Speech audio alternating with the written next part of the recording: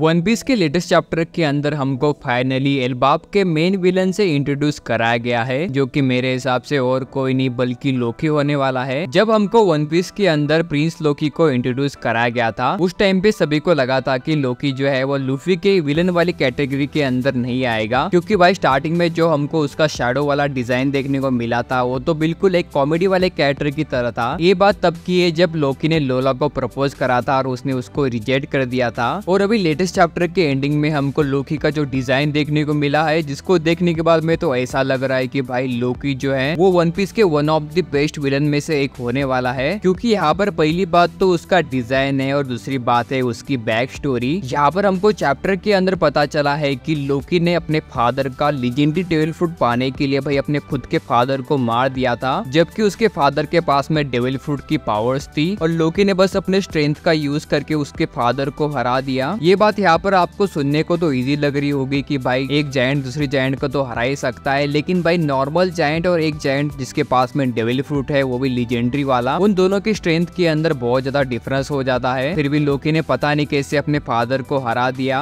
उसकी पावर का अंदाजा आप ऐसे ही लगा सकते हो कि भाई जैंट की आर्मी को वन पीस के अंदर one of the strongest army माना जाता है फिर भी यहाँ पर एल्बाब के ऊपर बस लोकी को रोकने के लिए पूरी पूरी जैंट की आर्मी लग रही है लाइक लोकी के स्ट्रॉन्ग होने होने के पीछे उसका डेविल फ्रूट तो है ही लेकिन उससे पहले उसने अपने फादर को हराया था तो यहाँ पर उसकी हाकी भी काफी ज्यादा स्ट्रॉन्ग हो सकती है और जब चैप्टर के एंडिंग में लुफी लोकी के पास में जाता है और उसको पूछता है की भाई तू है कौन जहाँ पर लोकी बोलता है की मैं सन गॉड हूँ जो की इस वाले वर्ल्ड को डिस्ट्रॉय करने वाला है यहाँ पर मुझे ये बात थोड़ी सी अजीब लग रही है की भाई लोला ने लोकी को रिजेक्ट कर दिया इसलिए भाई अपना लोकी जो है वो पूरे के पूरे वर्ल्ड को डिस्ट्रॉय करने के पीछे लग चुका है और जैसा कि आपको पता है कि एल्वाफ के अंदर जो जायंट है वो सन गॉड को काफी ज्यादा मानते हैं और एल्वाफ के अंदर सन गॉड की पूजा करी जाती है तो यहाँ पर मुझे ऐसा लग रहा है कि लोकी को ऐसा लगता है कि वो लीजेंडरी डेविल फ्रूट मिलने के बाद में अभी वो काफी ज्यादा पावरफुल हो चुका है लाइक वो सन गॉड से भी काफी ज्यादा पावरफुल हो चुका है और इसीलिए वो यहाँ पर अपने आप को ही सन गॉड बोल रहा हो और अभी यहाँ पर लूफी और लोकी की मुलाकात हो ही चुके है तो यहाँ पर मुझे ऐसा लग रहा है की अपना लूफी जो है वो भाई यहाँ पर लोकी को फ्री कर देगा और उसके पीछे लूफी का रीजन हो सकता है कि उसको लोकी के के साथ में फाइट करनी रहेगी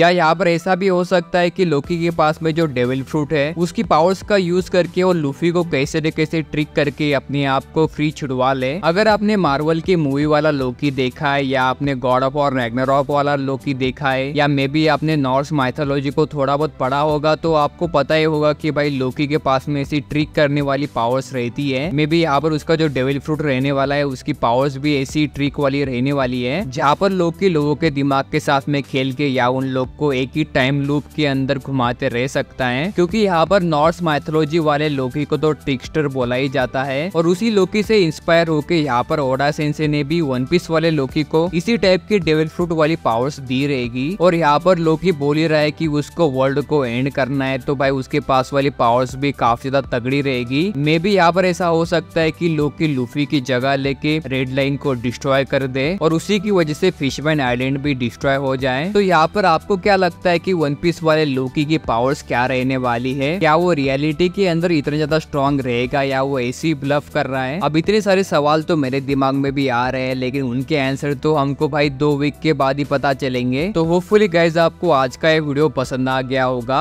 यहाँ पर मैंने जो मांगा के अंदर मेन चीज हुई है उसी के बारे में बात करा है तो होपफुली गाइज आपको आज का ये वीडियो पसंद आ गया होगा तो जाते जाते इस वाले वीडियो को लाइक करके चैनल को भी सब्सक्राइब करके जाना तो चलो गाइज आज के इस वीडियो के लिए बस इतना ही मैं मिलता हूँ आपको आगे आने वाले किसी वीडियो के अंदर तब तक के लिए सायो नारा